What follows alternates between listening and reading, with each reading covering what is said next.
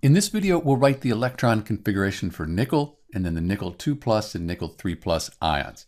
So to do that, let's start out with nickel. And when we look on the periodic table, here's nickel, we can see that its atomic number, that's 28. So that means it has 28 protons. That's the atomic number. Atomic number equals protons. We also know this is a neutral element. It doesn't have the plus after it. So this is neutral nickel. So the protons will equal electrons. We have 28 electrons to write the electron configuration here for nickel.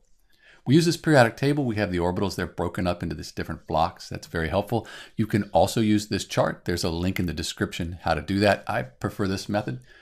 We'll start with 1s. So we'll put our 1s here. S can hold up to two electrons, 1s1, 1s2.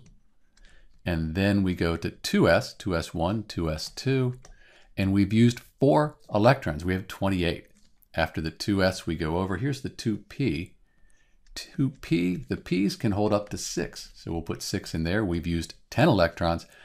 3s2, 3p6,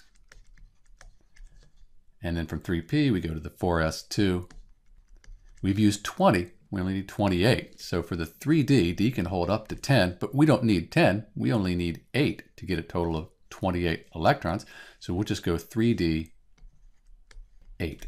And that's the electron configuration for nickel, neutral nickel, as found on the periodic table. You'll often see the electron configuration written this way, but since we're getting further into the periodic table here, it's probably better to write it like this, where we have the 3D before the 4s. This more accurately represents how the orbitals fill, and then when we have ionization, when we form ions, we lose this 4s first. So we'll write it like this. Either way is probably okay. They both describe the same orbitals though. Let's write this in a condensed notation. So nickel is 3d8. So let's put that here, 3d, 1, 2, 3, 4, 5, 6, 7, 8. That's where nickel is on the periodic table. So we'll go to the noble gas before nickel. That's argon right here. Then we write AR and we put it in brackets and then we write what comes after AR. We have 4S1, 4S2, and then we have up to 3D8. So that's the condensed notation for nickel. Let's use this to write the electron configuration for Ni2 plus and then Ni3 plus. So you remember that we had the 4s written after the 3d. Let's do that.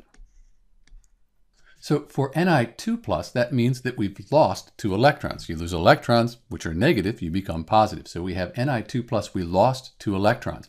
So let's just get rid of these electrons here in the 4s2. That'll give us this notation here where we end in the 3d8. For the nickel 3+, plus, we've lost a total of three electrons here. So we get rid of our 4s2, and we'll get rid of one of the electrons in this d orbital here. That'll give us 3d7.